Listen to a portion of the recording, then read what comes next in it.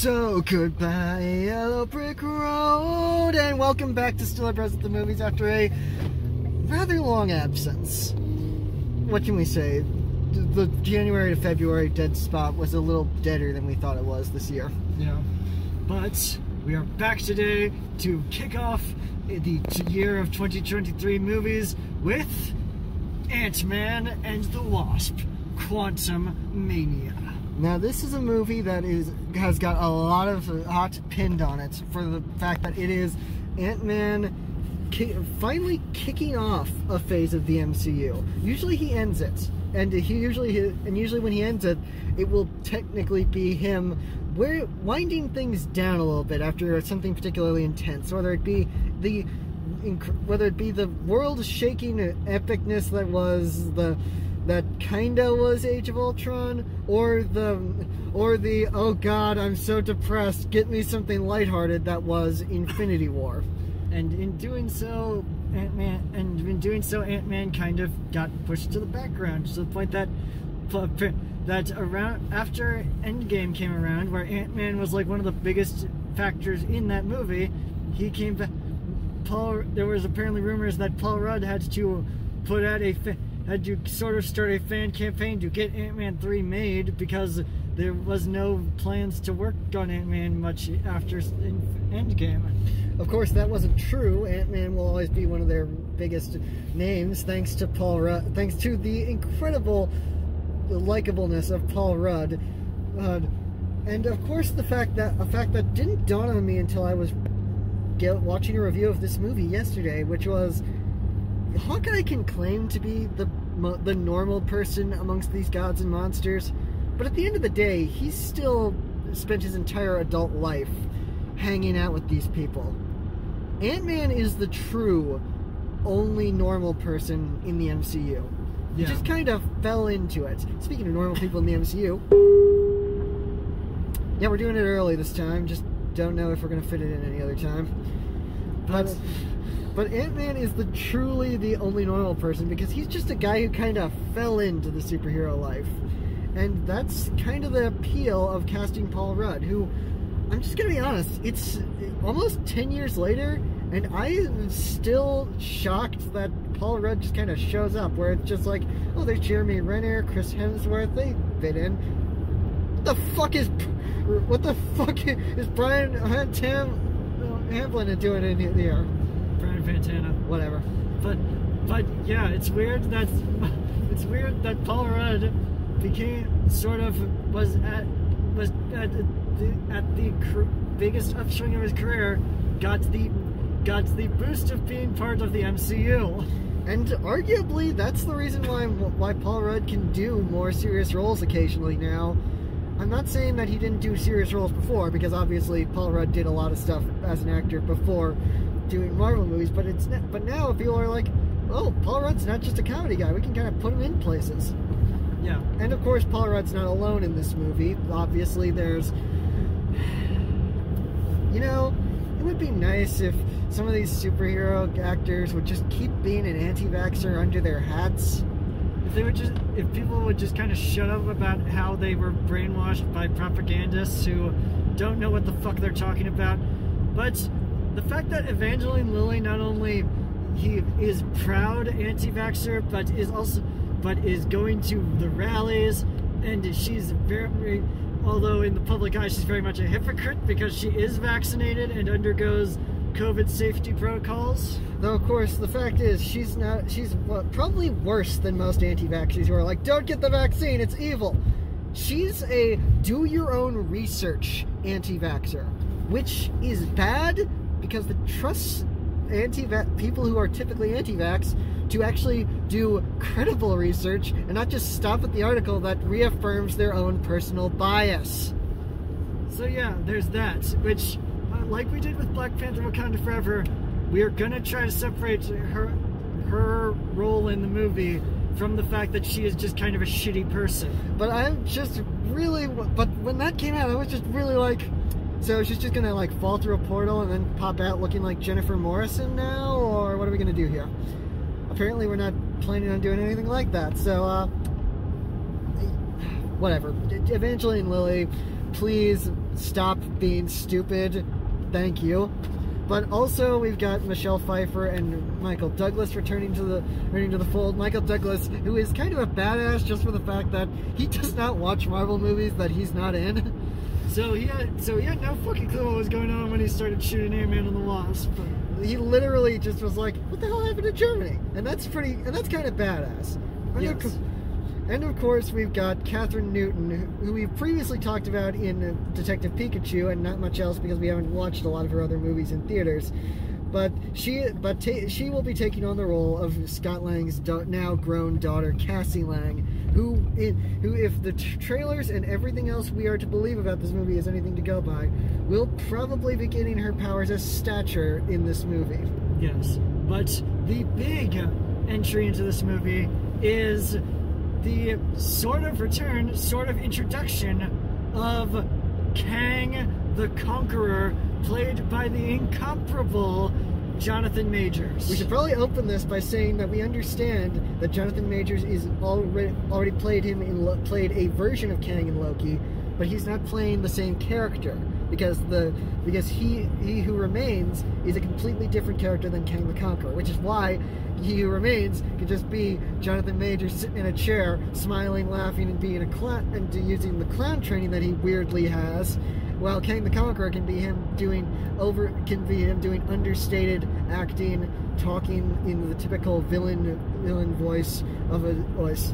But, but the fact that he's even here, played by Jonathan Majors, just shows that Kevin Feige's way of getting actors in his movies is just essentially going to move. It's just essentially going to awards after shows and being like, "You, you, you, come with me."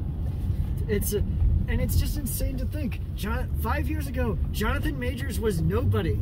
He had some small roles in things, but then he had Lovecraft Country and Devotion and Loki season two, and Loki season one finale and the Loki season one finale. And now suddenly he's everywhere. He went from being this guy was nowhere until he was everywhere. They to the point that they were playing that they played three trailers for movies that he was in in a row at at plays in uh, some movie theaters. Because he's doing this, he's doing Creed 3, and he's got a bunch of other stuff. It's insane and almost inspiring the level at which this guy, guy went from just a working act for five years. Just he didn't even really have the have much in the way of paying his dues because he kind of got major role after major role. He just lucked his way into this career, but unfortunately, he has the talents to back it up. Though of course we should also talk about some of the talent behind the camera. Of course, Peyton Reed is coming back comes back as the director, which is it's weird that the director of Bring It On is now suddenly play, playing with multiversal, weird, crazy stuff. Because once again, the director of Bring It On and various other just comedies that you wouldn't think that you wouldn't think. Oh, this guy's got a we- got a super awesome, weird sci-fi slant to him. when you just imagine 30 years ago telling someone watching the Weird Al show, hey, the guy who directed this episode, this TV episode, he's gonna direct this massive Wizard of Oz multiverse inspired hired movie starring Michael Douglas and Michelle Pfeiffer. And then you would look at, and then they would punch you in the face because that was a stupid thing to think. You'd also probably tell them that uh, tell them that it also stars that guy from Halloween Five. I think he was like, it was one of the Halloween, it was one of the Halloween remakes. Look, Paul Rudd before he was famous. Yeah. but and of course, of course, this is the first Ant Man movie that uh, had had Paul Rudd will not be in a, be a credited writer on. Instead, we have got Rick and Morty writer Jeff Loveness, because as we all know at this point, Kevin Feige's method of finding people behind the camera is essentially walking into the Rick and Morty writers room and being like, "Hey, whoever likes money, follow me. Not you, Justin. Not you." Why are you even in here? Nobody said you don't. You never. You're never in here. Why are you in here? To- to- topical. topical. But yeah, this is another interesting story, sci-fi story in the MCU, being told by a bunch of game filmmakers. But this one is not doing so well critically. It's the low, it's now the lowest rated Rotten Tomatoes score of a or of an MCU movie, and that and that kind of sucks because the Ant Man movies have always been the lower stakes movies. Like literally, the last movie was just kind of contained within these certain characters until the post-credit scene that said, "By the way, the world is ending." Uh, just off camera, the world is coming to an end. Yeah, but that's probably part of that is that's probably part of it is that now we have an Ant-Man movie with state with real world-shattering stakes because we have the introduction of the guy who is going to be the main villain of the next two Avengers movies and will be kind of the puppet master of everything going on for the next few years of the MCU.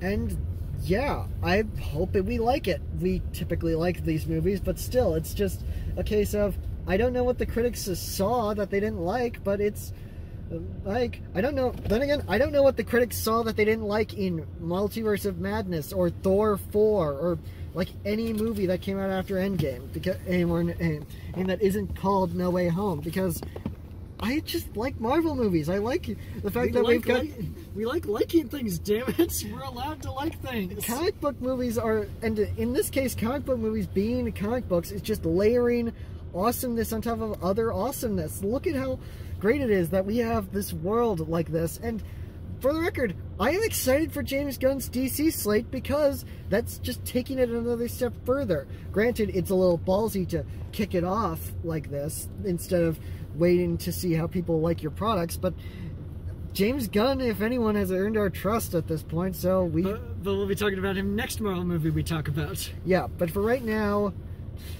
I guess we'll see what happens. Whether this be a colorful train wreck or just another movie where the critics are critics were a little overzealous because they were like, "Oh, this is a weirder one. I can tear this apart now." So, do critics just not like We'll sci-fi B movies anymore? I don't know. That's it's very weird because this was good. yeah, I mean, do, do critics just not like it when the sci-fi movie when sci, when a typical sci-fi B movie plot has money and a good script behind it? I don't know.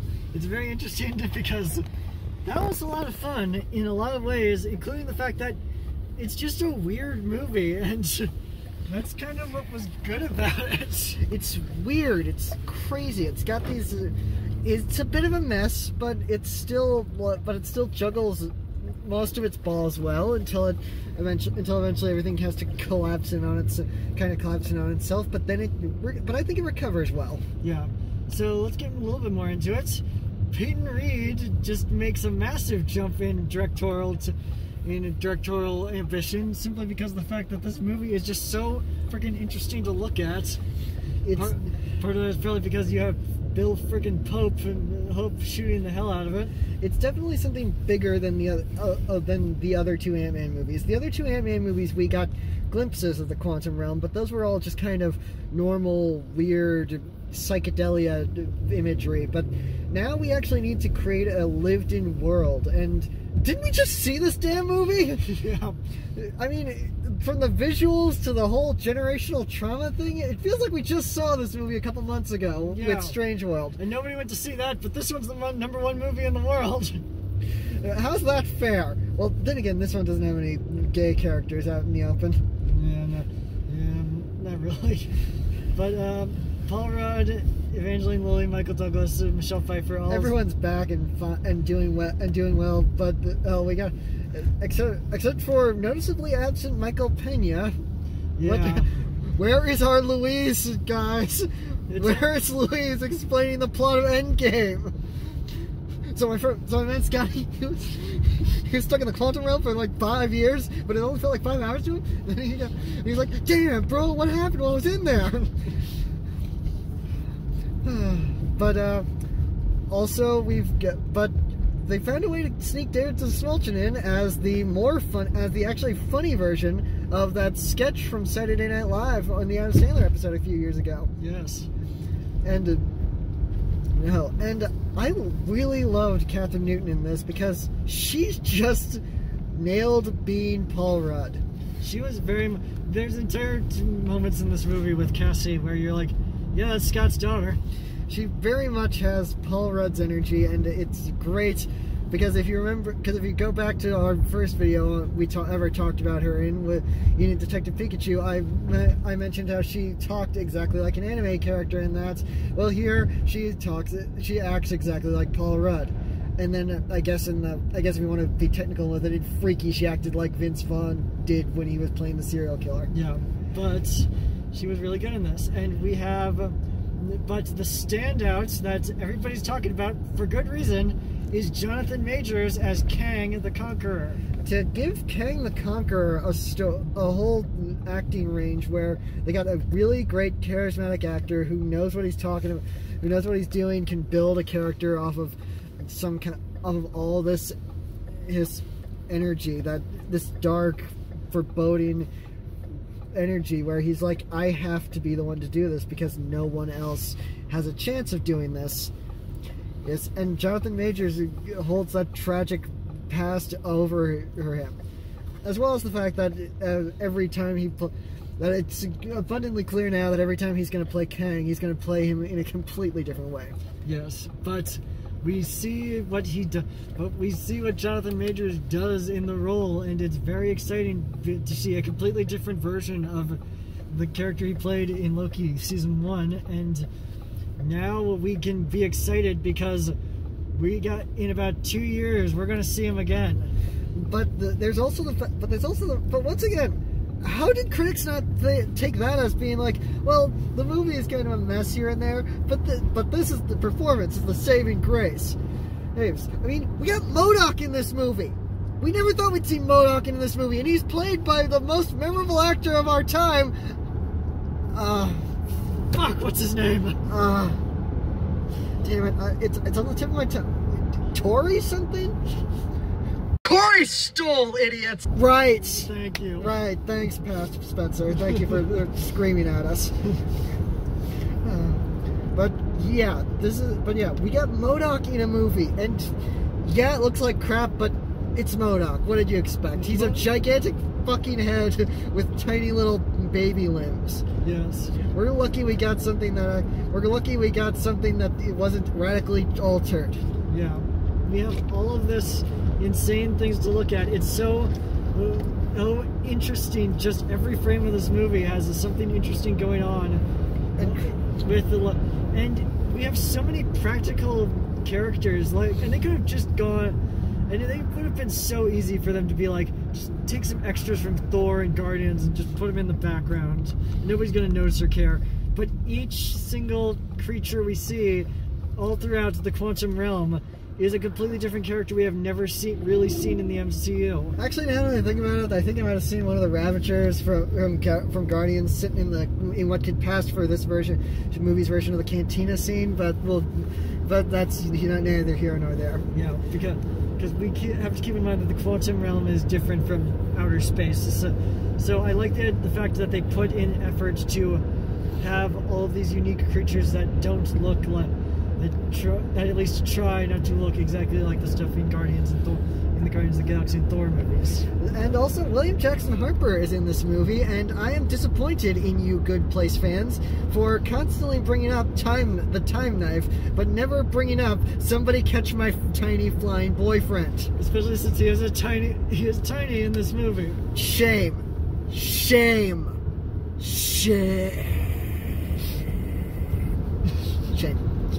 anyway, Christoph Beck is going a bit into the levels of, of I'm just gonna bust out my old synthesizer and play that that Mark Mothersbaugh did when he scored Thor the or the Ragnarok. Yes, and. Uh, so occasionally it'll be this big epic sweeping score and all, and then uh, it'll just be like and then we go into the heavy synths because this is a trippy movie and once again it's basically a B movie a sci-fi B movie from way way way back. But when Kang gets involved then suddenly the score kicks up and we get all of this awesome choral vocals and uh, choral stuff and all this other stuff.